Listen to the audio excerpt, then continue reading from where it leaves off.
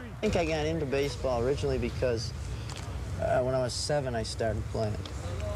And it was a way of being accepted by my peers. And um, they, it was a way of getting out of the stereotype of being handicapped or whatever you want to call it. Dave had polio as a child, but never let it keep him from playing.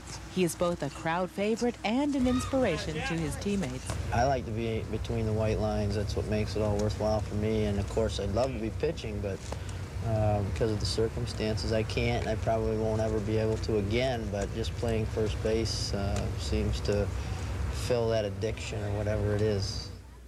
Dave spent a few years as a major league pitcher in Sweden until arm trouble shortened his career. Arm surgery hasn't corrected the problem, and he won't be able to pitch tonight. But Dave's between the white lines, and the game and the show go on. I think baseball will get along great without me.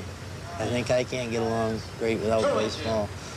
Um, I don't grip the ball, the ball grips me. Pressure situation.